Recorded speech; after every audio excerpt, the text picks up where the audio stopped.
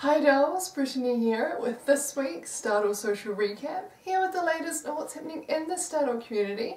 Let's get started. We'll start off by giving a feature to this rather dapper looking individual. Miss T Shift, also known as the Gentleman Writer, has a doll that sports not only a fabulous beard, but also has a unique take on fashion. What I find very interesting about their style is that they work with not only traditional tailored jackets and clothing, but they also combine this with very modern styles and prints. It's a great way in order to keep their doll in a contemporary light while also appreciating the styles that have come before.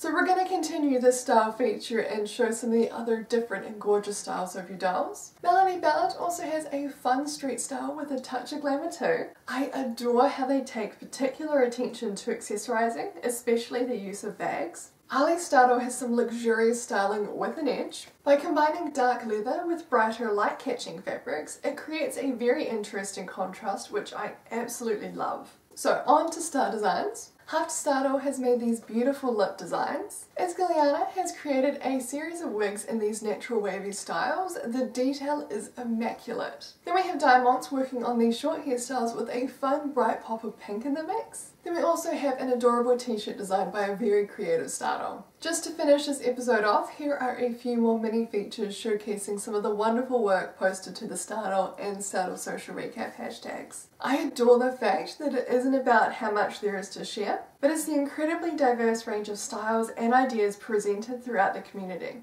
It's why I love having such an international audience. We love, learn and are inspired by each other at the same time. I hope you all have a wonderful day dolls. Thank you for watching. I'll see you next time.